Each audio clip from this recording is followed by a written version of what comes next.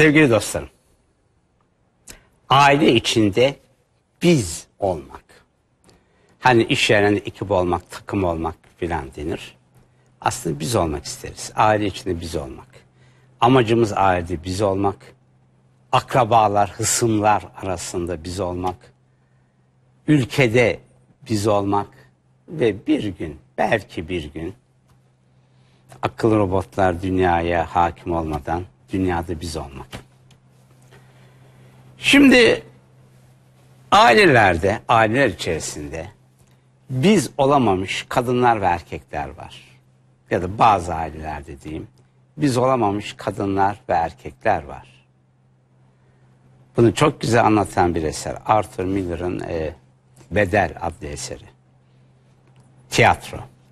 Tiyatronun sonunda der ki biz hiçbir zaman bir tam cümleyi hatırlamıyorum ama bir bütün bir aile olamadık. O büyük ekonomik krizlerden birisinde Amerika'da o adam tamamen hmm, evin erkeği iflas etmiş. Bitmiş, bitti, sıfır. Bütün işte nesi var nesi yok şey olmuş, kağıt olmuş. Eşine diyor ki sen sadece kustun diyor. Stresten midesine vurmuş. Kadıncağız kusmuş. Fakat teselli edebilir. Ya şimdi ne yapacağız? Dur bakalım bir sakin olalım diyebilirler. Ee, herkes kendi sazından, herkes kendi enstrümanından kendi derdini çalıyor. Bir orkestra yok, orkestrasyon yok. Çok sesli müzik yok. Herkes ayrı, münferit. Şimdi ailelerde biz olamamış kadınlar ve erkekler var. Biz olamamış şehirliler var. Biz olamamış apartmanlar, paydaşlar var. Çattaki diyor ki alttaki işte lağım taşmış beni ilgilendirmez alttakini. Alttaki de diyor ki üstte çatı akıyor beni ilgilendirmez. Bu kat mülkiyeti kanundan e, daha yeni yeni insanlarımız haberdar oluyorlar ve apartmanda biz olamamışlar. Şimdiye kadar biz olamamışlar çoktu. Ülkede biz olamamış vatandaşlar var. Hemşeri olmuş ama biz olamamış vatandaşlar var. Bir il, filanca il, şu il, bu il, bizim il. Bizim ildense güzel. Ee, yani o, o ili seviyor. O ilden birisi başarılı oldu mu? Her nasıl başarılı olursa olsun. Hangi şartlarda başarılı olursa olsun. Bizim ilden birisi başarılı bağrımıza basa. O bizden iyi diyoruz. Ama hocam yani müstakil böyle 60-80 tane ilden oluşmuyoruz. Bir bütün olmak gerekiyor. Psikiyatrist, e, değerli psikiyatrist Ünsal Söylemezoğlu'nun, Profesör Ünsal Söylemezoğlu'nun Kadın Erkek iki nokta üstte Ben Sen Biz adlı bir kitabı. Ben Sen Biz kitabındaki biz kelimesi ilham verdi. Kitaptan paylaşmayacağım ancak e, biz kelimesi ilham verdi. Biz olamamış kadınlar ve erkekler diyorum. Ailede biz olmak iyi. Biz olamadığımız zaman biz olamamış kadınlar, erkekler ortaya çıkıyor. Ya da biz olamamış iş yeri çalışanlar ortaya çıkıyor. Biz olmamışlar. Yok ayrı ayrı. İş yerlerinde biz olamamak çok yaygın bir durum. Gerçekten büyük bir iş yerinde biz olmak az rastlanan bir durum. Biz nasıl olunur? Önce kendi görüşlerimi sıralamak istiyorum. Biz nasıl olunur? Bir ailede biz olabilmek için çok şey gerek. Çok şey gerek. Kadın da erkek de insanlarla sağlıklı iletişim kuruyor olabilmeli. İlk madde bu. Bir, gerek kadın gerekse erkek evlenmeden önce insanlarla sağlıklı iletişim kuruyor olmalı. Belli bir yaşa kadar oğlan çocuğun kendi cinsinden arkadaşlar olmalı. Yani erkek çocukların zaten bir dönemleri vardır. Ee, işte 10 yaş civarı, 11 yaş latent dönem. Kızları aralarına oyunlara almazlar. Kendileri oynarlar. Bu bir gelişim evresidir. Böyle bir evre gereklidir. Ee, birbirleriyle iletişim kurmayı öğrenirler. Daha sonradan e, e, erkek çocukların kız çocuklarla da grup arkadaşlığı yapması gerekiyor. Kız çocuğu da bir yaşta birlikte olurlar. Oğlanlar e, genellikle 8-10 kişilik gruplar halindedir. İşte birlikte e, maç yaparlar. Ee, kızlar ise 8-10 kişilik kız grupları değil, ikili ya da üçlü grup olurlar. Çok değer verirler buna. Anna Frank'ın hatıra defterinde vardır. Anna Frank'ın bir kız arkadaşı vardır. Ee, yani çok iyi. Fakat bir süre önce bu kız arkadaş Anna Frank'ı bırakmış başka bir kızla arkadaşlık ediyor. Bu Anna Frank için bir küçük kıyamettir sevgili arkadaşlar. Kız çocuğun da kız arkadaşları olmalı. İki tane, üç tane yaşıtlarıyla. Büyüdükleri zaman gerek kızlar gerek erkekler ailede okulda birbirleriyle oynamalı, iletişim kurmalı. Karşı cinsle nasıl iletişim kuracaklarını öğrenmeli. Yani kalem al, işte kalemini ver, kalem al. Efendim silgi al, silgi ver. Ee, bir iletişim kurmaları gerekiyor. Yabani yaban olmamak için. Şimdi bence erkekler yüzde yüzü değil ama galiba birçok erkek birbirleriyle de sağlıklı iletişim kuramıyorlar. Eşleriyle de kuramıyorlar. Şimdi birbirleriyle kuram, kuramıyorlar. Yani sağlıklı iletişim genel bir takım konulardan söz etmek, sohbet etmek, duygu teatisinde bulunmak demektir. Duygu paylaşımda. Erkekler birbirleriyle genelde sağlıklı iletişim kuramıyorlar. Kahvede tavla oynuyor, okey oynuyor. Şakka, şukka, şakka, şukka. Hocam bu bir iletişim belki ama alt düzeyde bir iletişim. Derinlemesine bir iletişim yok. Kendi sıkıntısından söz etmiyor, duygularından söz etmiyor. Erkekler kahvede tavla, okey oynuyorlar. Okey oynayamadı da gal- galiba fayans dizmek deniyor. Ee, bir de futboldan söz ediyorlar. Yani duygu paylaşımı yok erkek erkeğe. Ee, sohbette az. Futboldan söz ediyor. Her düzeyde herkesin aklı sürekli futbolda. Bu dünyada en önemli ne? Bir fileyi doldurmak, ikincisi futbolda benim takımın kazanması. Bir derbi maçı vardı geçen günlerde. Bir genç, 20 yaşında genç. Heyecandan öldü. Yani çok üzüntü verici bir şey. Çok üzüntü verici bir şey. Futbola takımına gereğinden fazla anlam yüklemiş. Hani bir savaş olur ülkemiz kaybetse diyelim ki geçmiş eski çağda Kurtuluş Savaşı'nı kazarak kaybetsek insan üzüntüden heyecandan ölebilir. Bunu anlarım. Ama takım kaybetti diye çok anlam yüklemiş yavrum. Yani yeni bir olay beni üzdü. Erkekler sonuçta duygu paylaşımında bulunmuyorlar, sohbette çok az. Şimdi erkek erkeğe yeterince derinlemesine iletişim kuramayan erkeğe biz diyoruz ki şu kadını evlen, biz ol. Erkek adamda adam gibi iletişim yok. Yani erkek adamda adam gibi iletişim yok. Karısıyla nasıl biz olacak?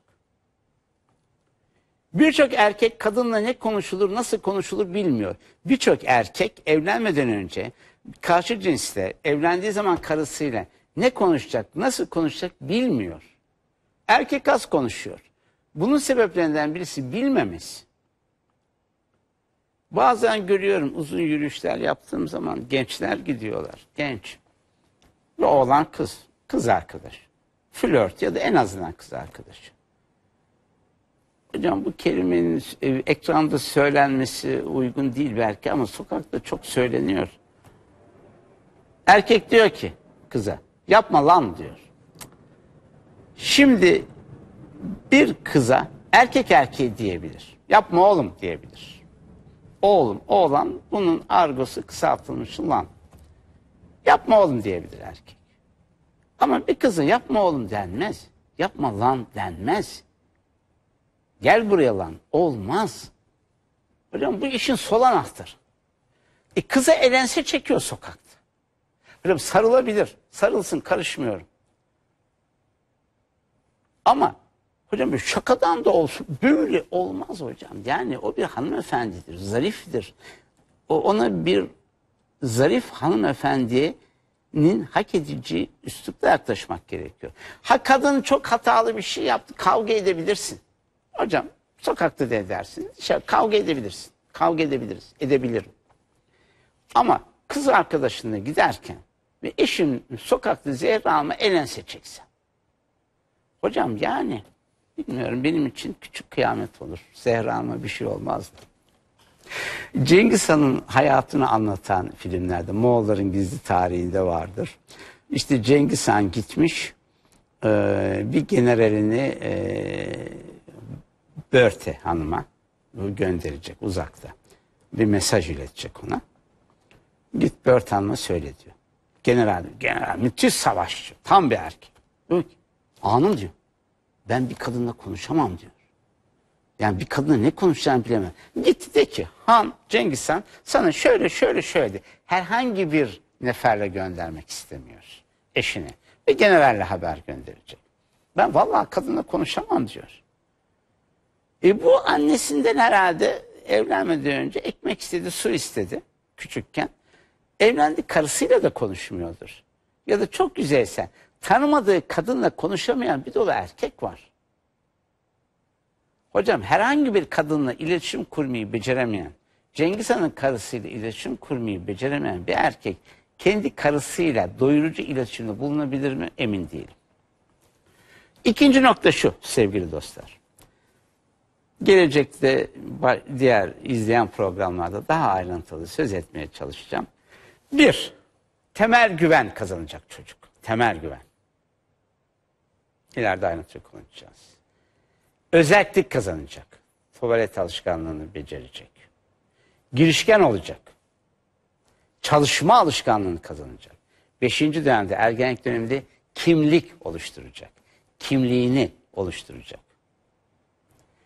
Altıncı dönemde insanlarla kendi cinsiyle ve karşı cinsle anlamlı yakınlıklar kurmaya başlayacak.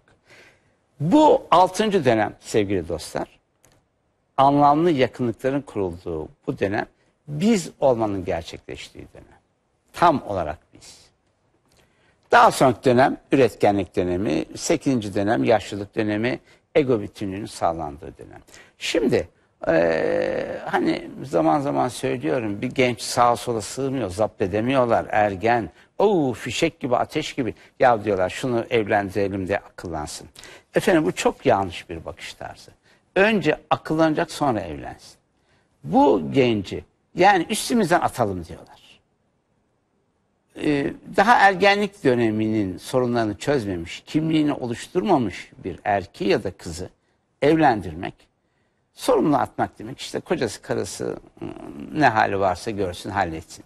Uygun değil. Önce kimlik oluşacak. Ergenlik döneminde evlendi. Eşiyle biz olamıyor sevgili arkadaşlar. Ee, küçük yaşta evlenen çocuklar, küçük yaşta evlendirilen kızlar eşiyle biz olamıyor. Ancak baskı altında yaşayabilir. Biz olamaz. Ergen kendine benzeyenle arkadaşlık eder. Kız ya da erkek. Kendine benzeyeni arkadaş olarak seçer. Niye? Sanki aynaya bakıyormuş gibi olur. Ergenlik döneminin temel ödevi, kişi ergenden beklediğimiz temel davranış, ödev, işlev, kimliğini oluşturması. Yani üstüne başına çeki düzen ver diyoruz. E nasıl? Görmeden veremem. Ayna karşısında üstümüze başımıza çeki düzen veririz.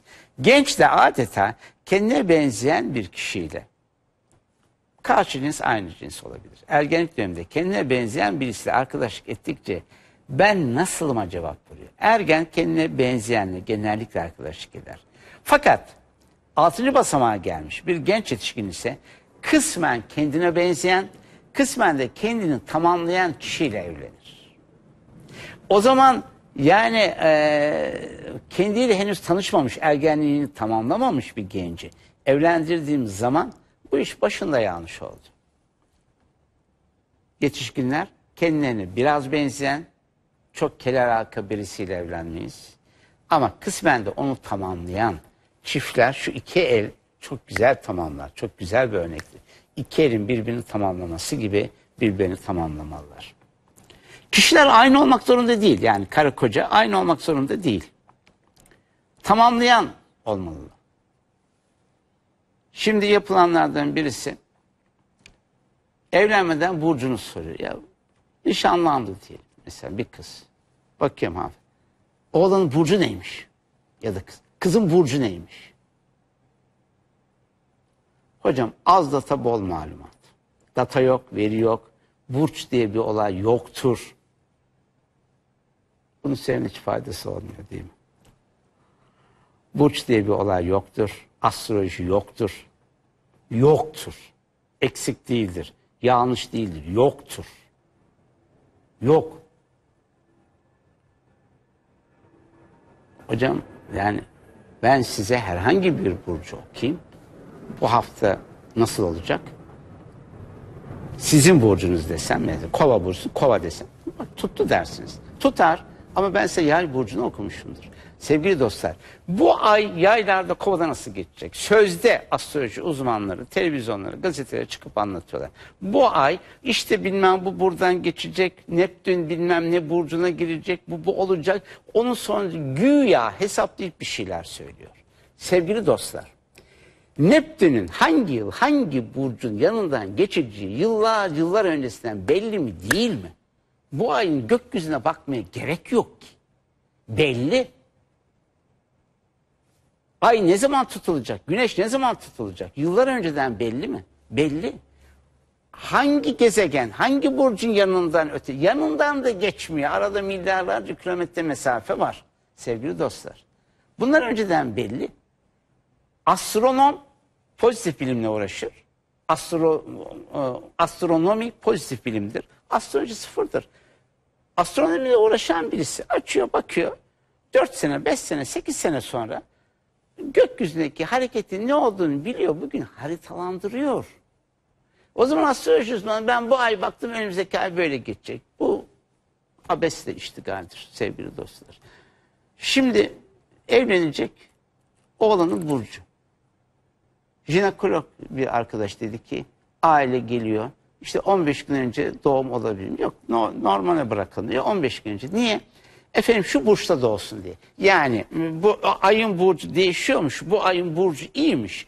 E, Kız olacak, erkek olacak bu ayda doğsun diye. İşte akla ziyan bir şey hocam. Aslanlar, kaplanlar ve zürafalar böyle işlerle uğraşmazlar. Vallahi onlar bizden daha akıllı herhalde. Hocam çocuğun bu burca denk gelsin diye. Erken doğum sezeryen istenir mi Allah aşkına?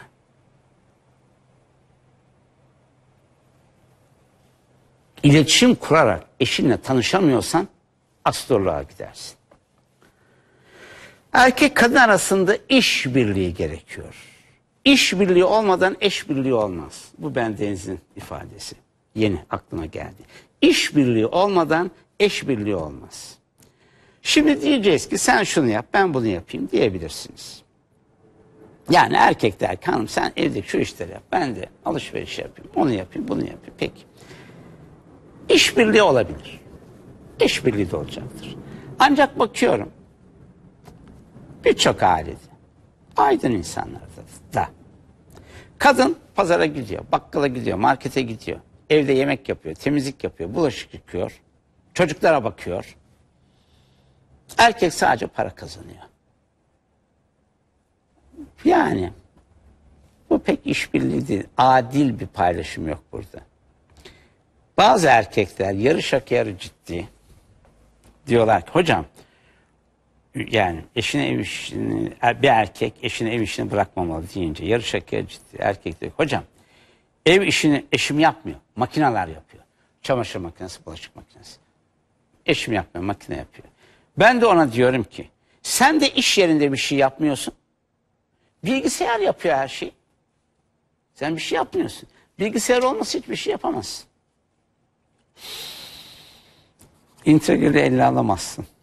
Bilgisayar yapıyor. Sevgili arkadaşlar, işbirliğine niyetli olmak gerekiyor. Erkeğim, güçlüyüm, ne yapsam haklıyım, gurur kırarım, hırçın erkek sendromu sergilerim. Fazla ev işlerinde bulaşmam. Yakamda gördüğünüz bir rozet var. Bunu Tema Vakfı'ndan e, bir süre önce Akisar'da e, konferansım vardı halka açık. E, Tema e, Vakfı'ndan arkadaşlar taktılar. Sevgili dostlar, herkesin seveni var, sevmeyeni var. Temayı da seven var, sevmeyen var. Niye sevmediklerini anlamıyorum. Ben takdir ediyorum, değerli buluyorum. Tema'nın kurucusu emeği geçenlere şükranlarımı sunmak isterim. Temayı, LÖSEV'i seviyorum. Şimdi hırçın erkek sendromunu önlemenin birçok yolu var. Konuştuk, daha da konuşacağız. Bunlardan birisi doğaya yakın olmak. Doğaya yakın olmak. Ağaçla, kuşla ilgilenmek. Japonlar şu, kacı, şu kadar bir yer. Bakın şu kadar. Minnacık.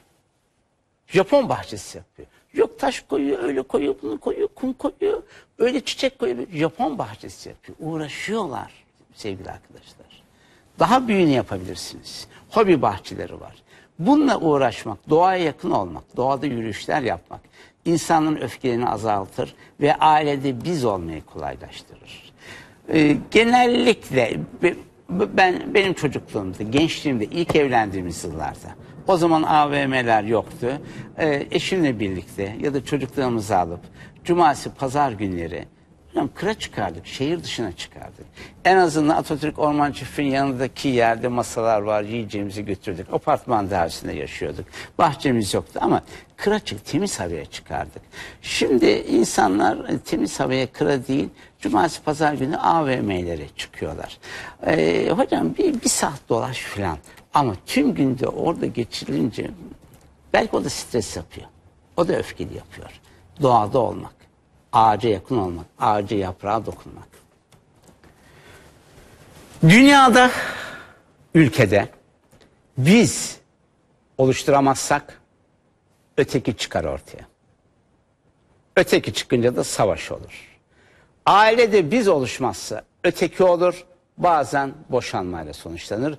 Dünyada biz olamadığı zaman insanlar savaş çıkıyor, göçler oluyor, öteki oluyor.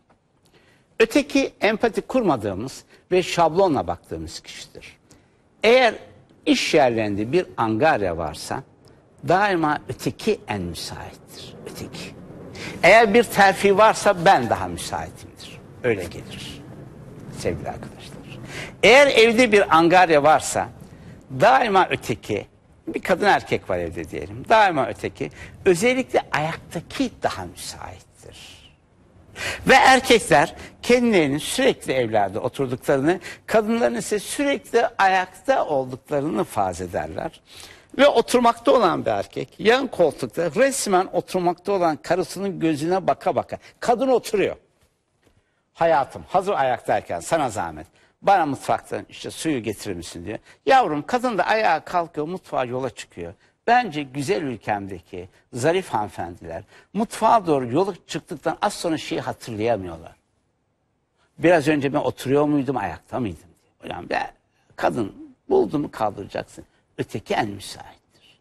Hocam tüm işlerde öyleyse biz olmuyor. Belki söyledim. Ee, bir süre önce bir arkadaşım vardı, erkek arkadaş işte telefonda ne yapıyorsunuz dedim. Evli. Ne yapıyorsunuz? Balkonun demirlerini boyuyoruz dedi. Buradan anlaşılan karı koca balkonun demirlerini boyuyorlarmış. Biraz uzaktan ses geldi. Eşi sesini. O boyamıyor ben boyuyorum dedi. Şimdi eşime dedi ki ya valla bana öyle geliyor. Şimdi biz bir aileyiz dedi. Biz bir aileyiz. İçimizden birisi bir şey yapınca hepimiz yapmış gibi oluyoruz. Yani biz bir aileyiz. Ben oturuyorum. Oturuyormuş içeride salonda. Eşi demirleri boyuyor. O zaman biz boyamış gibi oluyoruz diye. Yani o zaman e, şimdi ben su içince biz bütün aile su içmiş oluyor muyuz? Şimdi bunu ben de bazen kullanıyorum. Zehra alma diyorum. E, o bir şey yapıyor mesela. O zaman biz ailece yapıyoruz diyor. Yani içimizden birisi yaptığı zaman hepimiz yapmış gibi oluruz. Biz olmak için bir ilişkide nispeten eşit paylaşım olması gerekiyor. Eşit paylaşım. Ne açıdan? Duygu açısından, maddi açıdan. Evlilikten kadının ve biz olmak istiyorlarsa evlilikten kadın ve erkek eşit paylar almalı sevgili arkadaşlar. Eğer biri yüzde beş alıyor, diğeri yüzde doksan beş alıyorsa eşit paylaşım yoktur. Biri yüzde beş, biri yüzde doksan beş alıyorsa yüzde beş alan diğerinin bir tür kölesidir. Yani herhalde kölesi olanlar eski dönemde 5 ve 95 oluyordu. Yani efendinin her işi yapılıyor iyi filan. Ne veriyor? Bir tek yiyecek veriyor. Bir de muhtemelen kötü bir yatacak yer veriyor. O karın tokluğu için ve bir tek yatma için bu ilişkiyi sürdürüyor. Köle olmayı sürdürüyor. Ama bu köle eline geçen ilk fırsatta muhtemelen kaçmayı düşünür. Kaçar, cesareti yoksa da düşünür. Cesareti varsa kaçardı. Şimdi bir evlilikte taraflardan birisi kadın ya da erkek yüzde on, on beş alıyorsa, diğeri yüzde seksen alıyorsa burada bir hoşnutsuzluk var demektir. Taraflar şunu düşünmeli. Ben 50-50 tam olmayabilir. Ama şunu düşünebilir mi acaba taraflar? Ben haksızlığa uğruyor muyum? Ya da eşimi haksızlığa uğratıyor? 40-60 olur, 45-55 olur. Tam ölçemeyiz. Ama taraflardan biri sürekli ve belirgin bir şekilde o evlilikten az aldığını düşünüyorsa, evliliğin kendisine getirisinin az olduğunu düşünüyorsa uzun vadede sıkıntı ortaya çıkacaktır sevgili dostlar.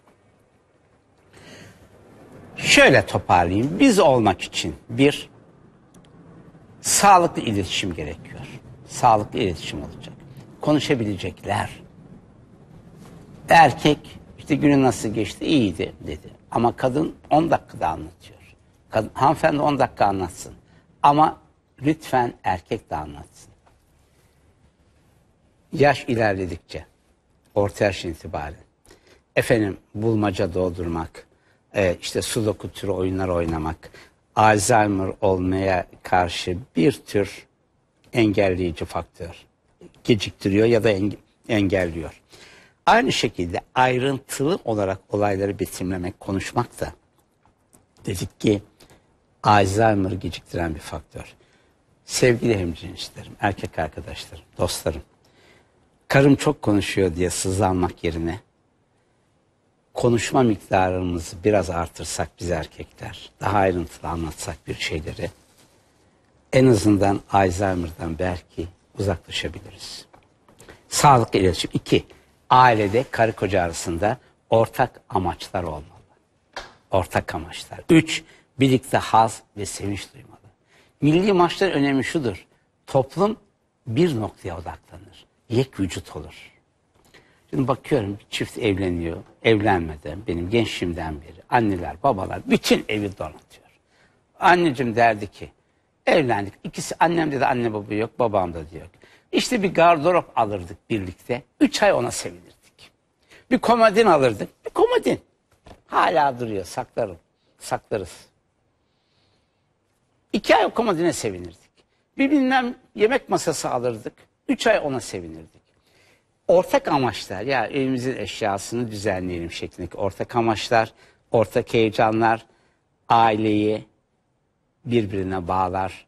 Ailede bizim biz kavramının oluşmasına katkıda bulunur. Biz olduğunuz günlerde huzur içinde yaşamanız dileğiyle. Thank you.